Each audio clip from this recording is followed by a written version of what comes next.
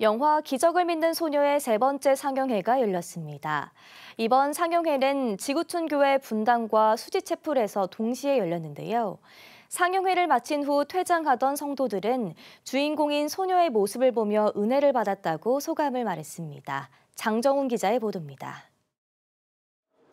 미국에서 흥행한 기독 영화를 국내 정식 개봉 전 교회에서 먼저 볼 수 있다는 기대감을 갖고 성도들이 하나둘 입장합니다. 지구촌 교회 수요 예배 때 진행된 상영회 현장 모습입니다. 오전 시간임에도 불구하고 분당 채플에만 700명이 모이며 상영회에 뜨거운 열기를 더했습니다. 지구촌 교회 이성희 목사는 영화 시작 전 간단한 영화 소개를 진행했습니다.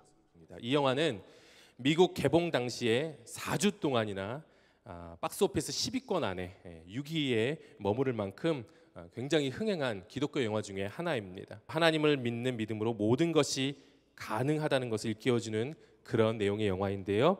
영화를 통해서 많은 은혜 받으시기를 바랍니다.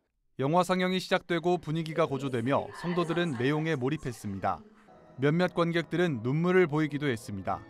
영화를 감상하며 각자가 받은 메시지를 가지고 기도하는 시간도 가졌습니다.